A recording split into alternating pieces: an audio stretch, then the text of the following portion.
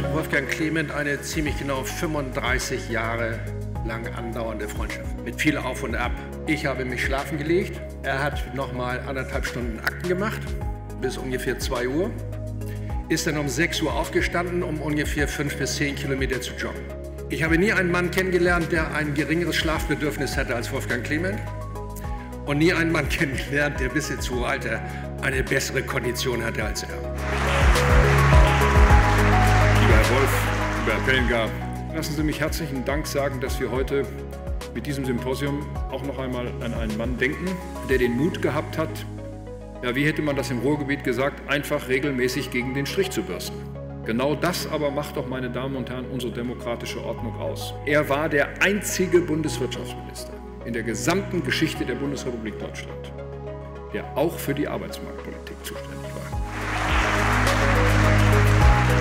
Wir können nicht sagen, jetzt ist eine Phase der Krisen so allmählich hinter uns, schon weil wir müde der Krisen werden. Was uns jetzt in der Zeitenwende fehlt, wir brauchen eine Diskussion über soziokulturelle, über gesellschaftliche Nachhaltigkeit. Meine Damen und Herren, der Stresstest der Demokratie, der steht bevor.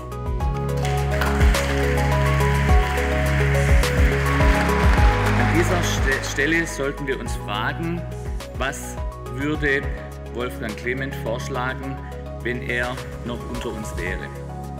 Was würde er zu den Folgen der Krisen wie der hohen Inflation sagen und mit welchem Instrument würde er sie bekämpfen? Wenn Sie Kanzler werden sollten, 2025. Meinen Sie jetzt mich oder Herrn Merz? Ich, Aber unbenommen sehe ich auf einer Reihe von Feldern in der Tat einen sehr umfassenden Reformbedarf. Und jetzt kann ich noch einen Satz hinzufügen. Wie weit kann man eigentlich Wahlen mit anspruchsvollen Reformen gewinnen? Die Frage habe ich für mich persönlich auch noch nicht zu Ende beantwortet. Transformation ist eine große Herausforderung, aber es muss eine gewisse Skepsis erlaubt sein, auf welchem Wege wir diese Transformation organisieren. Wolfgang Clement würde gewiss zustimmen, wenn ich sage, wir müssen eine Transformation organisieren. Was sich aber nicht transformieren darf, ist der Charakter der sozialen Marktwirtschaft. Wolfgang Clement, er fehlt. Vielen Dank.